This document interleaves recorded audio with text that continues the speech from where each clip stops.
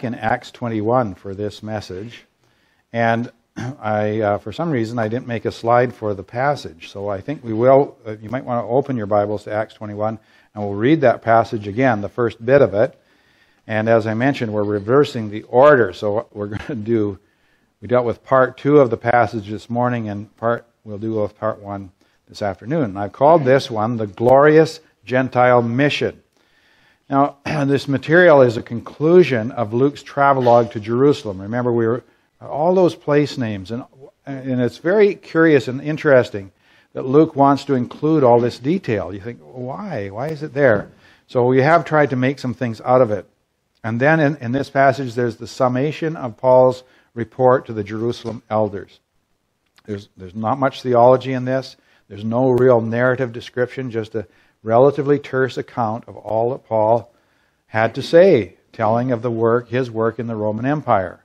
And here comes that bus. So uh, I want to get that organized. So in this message, I don't have much exhortation, but the passage, passage does speak to the glory of God. So our objective is to join with Christians across the centuries and lift up our voices in praise to God for his gracious work among men. So let's read the passage. I want to begin in um, Acts 21, verse 15, and I'm going to read to the beginning of verse 20. After these days, we got ready and started on our way up to Jerusalem. Some of the disciples from Caesarea also came with us, taking us to Mnason of Cyprus, a disciple of long standing with whom we were to lodge. After we arrived in Jerusalem, the brethren received us gladly. And the following day, Paul went in with us to James, and all the elders were present. After he, he had greeted them, he began to relate one by one the things which God had done among the Gentiles through his ministry. And when they heard it, they began glorifying God. So that's our passage for this message. And uh, we are going to talk about, first of all, a prelude, a host with Gentile connections. So we have the travel from, Jeru- uh, from Caesarea to Jerusalem. It's about 62 miles from Caesarea to Jerusalem. The word that is used in verse 15 uh, suggests saddling up or loading pack horses. When you see, after these days, we got ready and started. So that got ready suggests, according to the commentaries, that they were using horses. So if by horse, the journey might last two days. A group of Caesareans are, are uh, accompanying them. Perhaps they are going down to, or going, I'm saying going down Notice the text says, on our way up to Jerusalem. Now, Caesarea is northwest of Jerusalem. So in our reckoning, that would be down, right? We'd say you're going down to Jerusalem. But for the Jews, if you're going to Jerusalem, you're going up. If you're going away from Jerusalem, you're going down. Doesn't matter what direction you're going. If you're going away from Jerusalem, it's down. That's just the way it is. Okay, so if you're going towards Jerusalem, it's up. Anyway, so they were going up to Jerusalem. And uh, perhaps there, it, says a group of Caesareans, disciples from Caesarea, accompanied them. Perhaps they were also going because it was the Passover season. Remember, that's why Paul wanted to get to Jerusalem. Or perhaps they were there to lead them to, the ho- to their host. And you'll notice this host. See that name? Isn't that a great name? This is the only place in the Bible where he occurs. Mnason. Right? That's a very Greek name, in case you were wondering. It's not, you know, Jedediah or, you know, Zechariah or something like that. That's a Hebrew name. This is a Greek name. Now, he's, he's described as a disciple of long standing. How long? Well, some suggest as far back as Pentecost. We don't know. The Bible doesn't tell us. Uh, and he is from Cyprus. So he is at least a Hellenized Jewish Christian. What does that mean? That means that he uh, lived and grew up in a Greek area, Cyprus. Okay, he was surrounded by Greeks. So he, if he was a Jew, he was a Hellenized Jew, somebody who was raised in a Greek culture. When they came to Jerusalem, there was a distinction. We talked about that this morning a little bit. There's a distinction between the Hellenized Jews and the Jewish Jews, if you follow my meaning. All right? So uh, he could have been actually a Gentile. It's possible he was a Gentile. But uh, the, at least he was a Hellenized Jewish Christian. He was a Christian. So he's going to host Paul and his cohort of mostly Gentiles, and that seems a logical choice. So if he is at least a Hellenized Jew as a Christian, he is more open to interaction with Gentiles than the Jews who are Judean Jews in Jerusalem might be. So, with these introductory words, we find ourselves now in Jerusalem. Uh, he's got the trappings of his Gentile connections all around him. This is, as we mentioned, a sore spot for the Jews, uh, and including the Jewish Christians, as noted this morning. So, he goes in, he meets with uh, the um, apostles, or not the apostles, with the elders. All right, so let's see. It says, The brethren received us gladly in verse 17. And then it says in verse 18, And the following day Paul went in with us to James and all the elders who were, were present. So this is, James is the brother of Jesus, as I mentioned, physical brother. And then he, uh, but he became, he's the one who wrote the epistle of James. He's well known in the church. He was a leader in the church in Jerusalem. All right, uh, let's see. Verse uh, 19. After he had greeted them, he began to relate one by one the things which God had done among the Gentiles through his ministry. So I wonder about this. How long did this meeting last? If he was telling them everything, how long did this last? Uh, was it all three journeys that he was talking about, or just the last one? Probably, I'm thinking just the last one. I want to take some time to go through the record of Paul's mission. So I'm going to give you some slides. We've, I've shown you some of these before. Oh, it's not on. Oh, sorry. I was, I was, all, I knew there was something missing. You see, I'm getting old. You have to help me. Shout at me and keep me on track. All right, so I'm going to give you a slide here of the first missionary journey.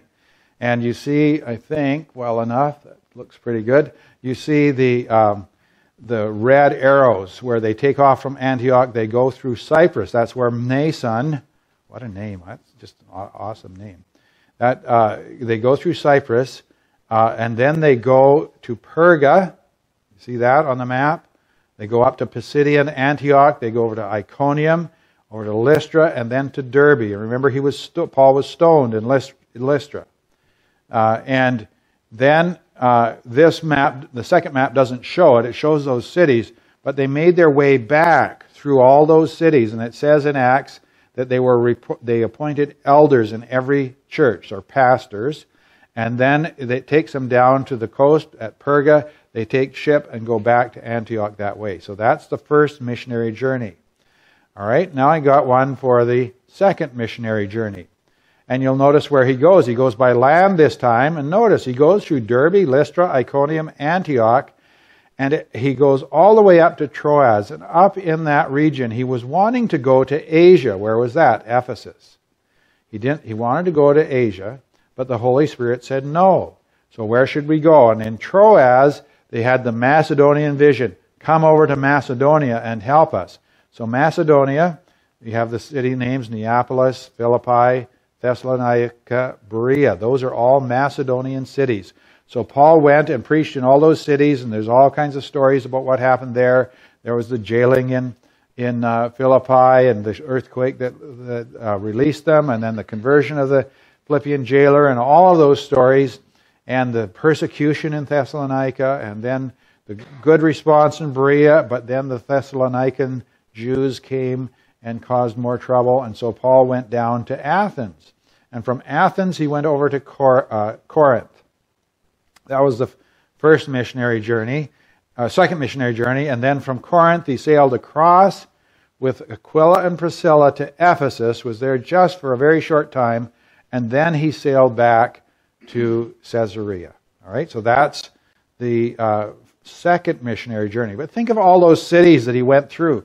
Think of all the people he met, all the stories we know about things that happened as we experience all this. And then we have the third missionary journey. And again, he goes overland, Derbe, Lystra, Iconium, Antioch. Third visit. Goes then to Ephesus. He spends two and a half to three years in Ephesus. Goes up to Troas, then to Macedonia, uh, and all the way back down to Corinth again. And then he turns around and he comes back pretty much the same way, except he sails from Troas all the way down, as you see, Miletus. That's where that long sermon in Acts 20 took place. And then he goes uh, to Patara, catches the ship to Tyre, on the way down to uh, Caesarea, and then to Jerusalem at the very end. And you'll see all of those locations. So, all of these things, and we've covered all the stories of the things that happened and in all of this in a little under 10 years. Oh, I didn't give you the dates for all of those. First missionary journey, about AD 49 to 50, a couple years. And then the second missionary journey, roughly 51 to 54. Okay, and then the third journey from 54 to about 56 or 57. That's when Paul ended up arrested in Jerusalem in 57. So it's roughly in those dates. Now there's different, some commentaries in that will give you a slightly different date, but those are roughly what the dates are. But I ran across a website that calculated the miles. He also calculated the cost in denarii I don't, I don't know. I thought this is the guy, this guy's a little bit obsessive. But anyway, he uh, calculated the distance that Paul traveled.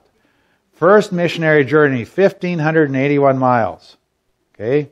And the travel days, calculating, they're calculating the type of travel by ship and by foot, and then also, uh, uh, you know, the, the various uh, time, uh, uh, the amount of time that would be necessary to walk that far or to sail that far. All right, so that's how he calculated these days. So he's calculating 53 days of travel for that first journey. Second journey, 3,050 miles, 100 travel days. Okay, 100 travel days. And then the third journey, 3,307 miles, but only 92 travel days because of all that sailing by ship. Okay? So, then I got to thinking about that total days based on my rough estimates about the dates. For two years, 730 days. So 53 days, 53 of those days were travel days. Think about the number of days Paul had to preach. Now we have, how many cities in that first journey? Well, we have Cyprus. There's a couple cities mentioned there, from one end of Cyprus to the other. Then Perga, Pisidian Antioch, Iconium, Lystra, Derbe. I've got six names there. Cyprus, uh, let's make it seven. So we've got two cities named, I think, in Cyprus. All right. Seven cities named. 1,500 miles traveled. 53 of those days are travel days, 730 days. I think he, he may have stayed in some of those cities for a little while, but he was preaching all over the place. When, we're to, when we, what we have in Acts is very much the highlights, the, the parts that Luke and the Holy Spirit wants us to know. The same thing, notice for the others. The second journey, I, by my calculation, this could be off a little bit, but I'm saying about 1,277 days and 100 days of travel time. That leaves 100 or 1,177 days for preaching, right, for evangelizing. Now, he was probably, while he was traveling, he was preaching to whoever would listen as well. And again, third journey. And we know he spent a lot of that time in Ephesus. And I talked about how, when we were in that section, Paul, uh, not only Paul's influence, Paul's work in Ephesus, there were people who were won to the Lord and went down to Colossae. And Epaphras is the fellow that's mentioned in Colossians.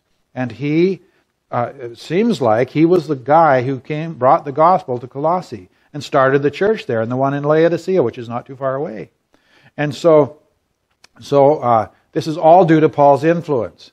And the point I'm making here is that we have a real, remarkable, remarkable uh, thing to think about in Paul's missionary journeys. Uh, how many events does Luke leave out of his record? how many did Paul leave in as he rehearsed the story in Jerusalem? You know, there's things surely happened. Surely there were miracles that occurred.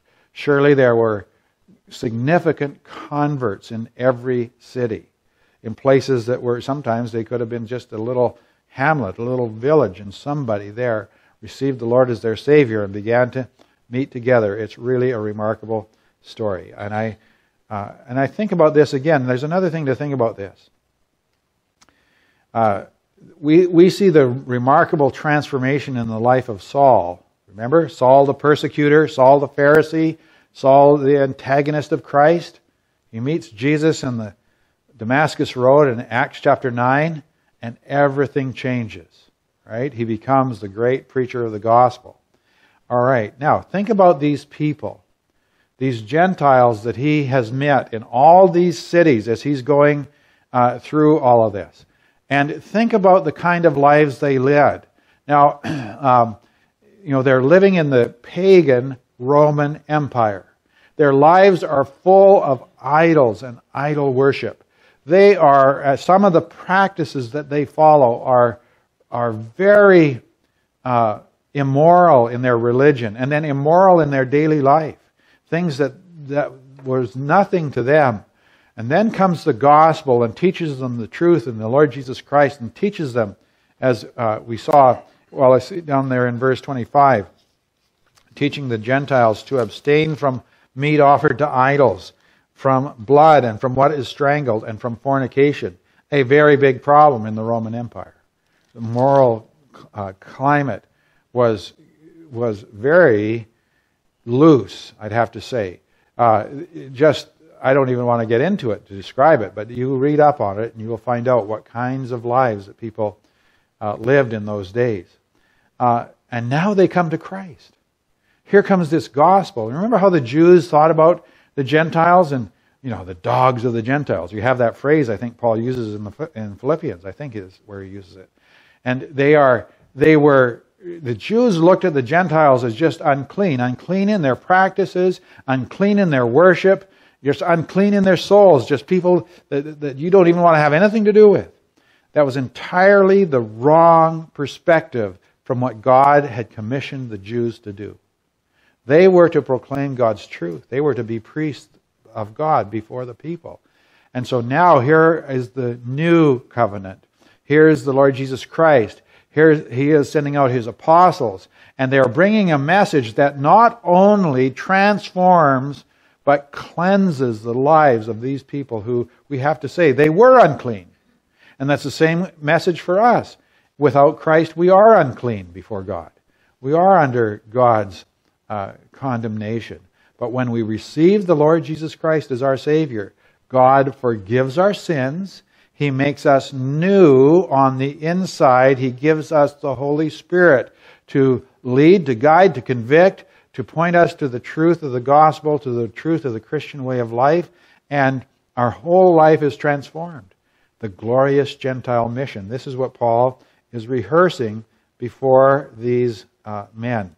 Now, the last thing I want to consider here is the reception gladness and glory. I touched on verse 17. After we arrived in Jerusalem, the brethren received us gladly.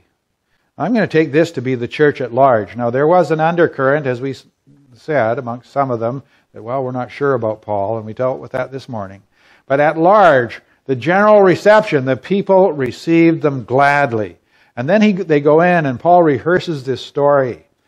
And it says, James and the elders began glorifying God in verse 20. They're just, they're having a revival meeting. What a wonderful thing. What wonderful stories to hear about how people have come to Christ and to and how their lives have been changed. Changed. When Paul talks about that demon possessed girl in Philippi who was uh, uh, possessed by an unclean spirit, and then Paul cast out the spirit, and then she becomes a part of that believing church. What a remarkable change. What a tremendous difference. The Philippian jailer He's, you know, he's an ex Roman soldier, probably. He was probably a brutal man. God changed him and made him a part of that church. And there's Lydia, the seller of purple, a very wealthy woman who also is changed by the gospel. What stories! What a remarkable uh, power the gospel has. What a glorious mission the apostle had. And it summed up in a way in a passage. There's several passages I could turn to, but in Ephesians 2, verses 1 through 8, there is something that I think sums up what this mission meant in the lives of the people who received it. Ephesians 2, verse 1 And you were dead in your trespasses and sins, in which you formerly walked according to the course of this world, according to the prince of the power of the air, of the spirit that is now working in the sons of disobedience. Among them, we too all formerly lived in the lusts of our flesh, indulging the desires of the flesh and of the mind and were by nature children of wrath, even as the rest. Now, I'm not 100% certain. I'm just going to pause here for a second. But he says, You were dead in your trespasses and sins. He's writing to his readers in Ephesus, mostly Gentiles. But look, he says, Among them, we too, we Jews also, were, who formerly lived in the lusts of our flesh. Yes, they were following the God of the Old Testament, but they were following it in their flesh. And he says, We were in darkness. And then comes verse 4 But God, being rich in mercy, because of his great love with which he loved us, even when we were dead in our transgressions, made us alive together with Christ. By grace you have been saved, and raised us up with him, and seated us with him in the heavenly places in Christ Jesus, so that in the ages to come he might show the surpassing riches of his grace and kindness toward us in Christ Jesus. For by grace you have been saved through faith, and that not of yourselves. It is the gift of God. Isn't it remarkable? I've heard a sermon, it's a very, very famous sermon that Martyn Lloyd-Jones uh, preached. I don't remember when the date was. I've read about it in his biography. It is noted, uh, Iain Murray wrote an excellent biography of uh, Lloyd-Jones, and there is, uh, and they mention this sermon. And some years ago, I found that many of his sermons were recorded uh, by, in audio, and you could download them. And back then, you had to pay for them. Now you can get them for free. Had, this sermon is called "But God," and it's on those two verses and ver, uh, words in verse four. But God, you were dead in your trespasses and sins, but God. Okay, you you were walking according to the course of this world, but God. You are walking according to the prince of the power of the air. You are following the leadership of Satan, but God. Of the spirit that is now working in the sons of disobedience, but God. Among them we too all formerly lived in the lusts of our flesh, but God. You see, that's the difference, and that's the message that Paul had for the elders in, uh, in, in Jerusalem. Here's what we've done. Here's what God has done. Here's the people. Let me tell you about uh, this fellow I met over in, in Antioch of Pisidia. Let me tell you about this man who was in Troas. Oh, let me tell you about Eutychus. you know, Eutychus, you know, falls out of the window in the sermon. He said, "You're not getting away from me that easy." You know, bring him back up and make him listen to the rest of it. All right. There's there's so much, but, but God has been involved in changing these lives. The glorious, glorious Gentile mission. That is an uh, incredible, incredible story. And, you know, the passage doesn't tell us much, but it has these little hints. We think back to what Paul has accomplished in this missionary journey, about nine years. Not much more than that. And the thousands of people who are impacted by the gospel of the Lord Jesus Christ. Now, that impact was multiplied. Now, you go through church history, some of the things that happened were, were really strange. There were people who would uh, meet up, and it became a political thing to become a Christian. And the king would say, Okay, I'm going to be a Christian now. Okay, all you soldiers, you're converted. You're all going to convert. You know, say, you, you know, whatever. They'd turn them into Christians just like that. Now, that doesn't seem to me as a very legitimate way of evangelism. Right? I don't know about you. But you look at what God did, in spite of the foolishness of men, throughout all of history, we have the gospel reaching all the way from Jerusalem to Victoria, British Columbia. It's a remarkable thing to me that we too are a part of this body of people, this Gentile mission started by the Apostle Paul, where he moved in our lives and turned our lives upside down. And we're walking with the Lord and knowing the Holy Spirit and knowing the way of salvation. What a blessing it is. I hope that it is true for each one of you that you know the Lord Jesus as your personal Savior. Let's close with a word of prayer.